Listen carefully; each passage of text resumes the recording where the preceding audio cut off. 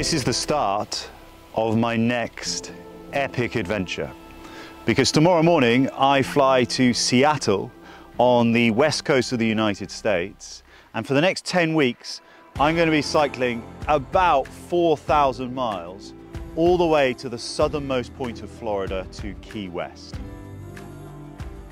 Eight years ago, I cycled across the United States in the lead up to the 2016 presidential election.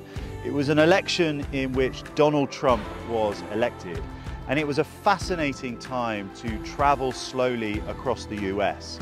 And that's the premise of this project and of my next book.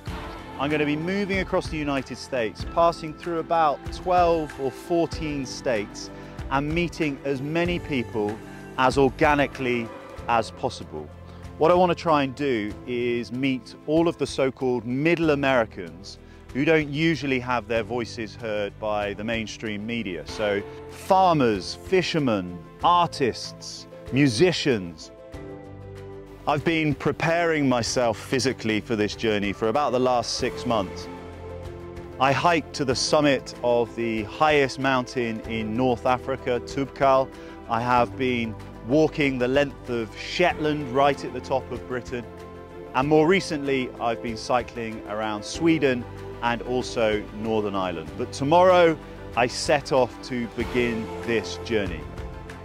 It is going to be tough. It is going to be grueling. I've got to cross over the Rocky Mountains and then spend days and days on empty North American roads. At times it's going to be roasting hot, but the idea of this project is to meet as many interesting folk as possible. They'll be included in these videos, they'll be included in a podcast that I'm making, and then also they'll feature in my book, which is coming out June or July next year. So please stay tuned, please comment, please keep me company on this epic journey across the United States.